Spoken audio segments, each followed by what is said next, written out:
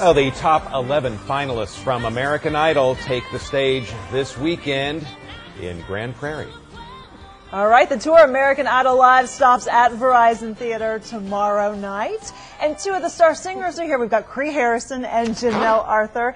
Thank you so much for being here. It was a pleasure watching both of you perform during the whole season. Oh, thank, you. Thanks for having us. Thanks. How's tour? How's going on tour been? It's been really good. Yeah, a little, little surreal. Yeah, when you watch that video, I heard y'all go, wow, that seems like a while ago. It's does, weird. It's yeah. weird that we were actually on American Idol. I mean, it's still a strange thing to watch. Right. The, the tour still in sort of its early stages. Do you find, are you still refining things on stage?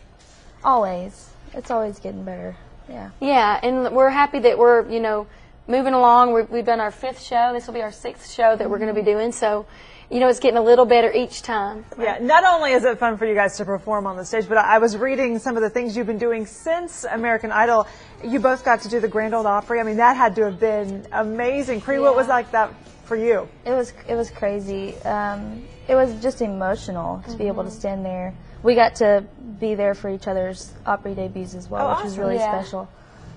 Yeah, we were there together. It was it was really incredible. I mean, that's for the both of us. That's like the biggest dream Yeah. possible. Well, and, and to me, you're both what I would call soulful country singers, the two of you. And if, if I was going to the Idol show, seriously, I, I would think I'd love to see you two duet. Now, that kind did you guys bring that up to the, the show producers? Always. We love to sing together. I mean, Come on, guys.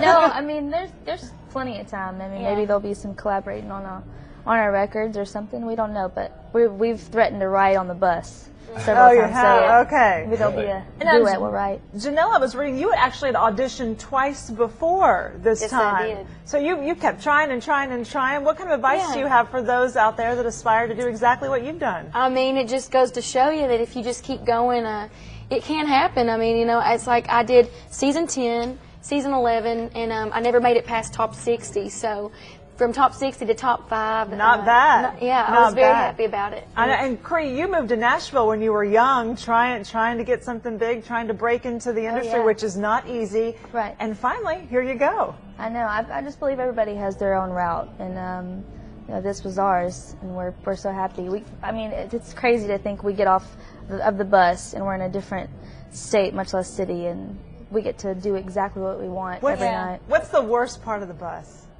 It's got to be the bathrooms, obviously, right? It's, honestly, It's not bad. yes, I'm that. glad there's a bathroom on the bus, to be honest. That's true.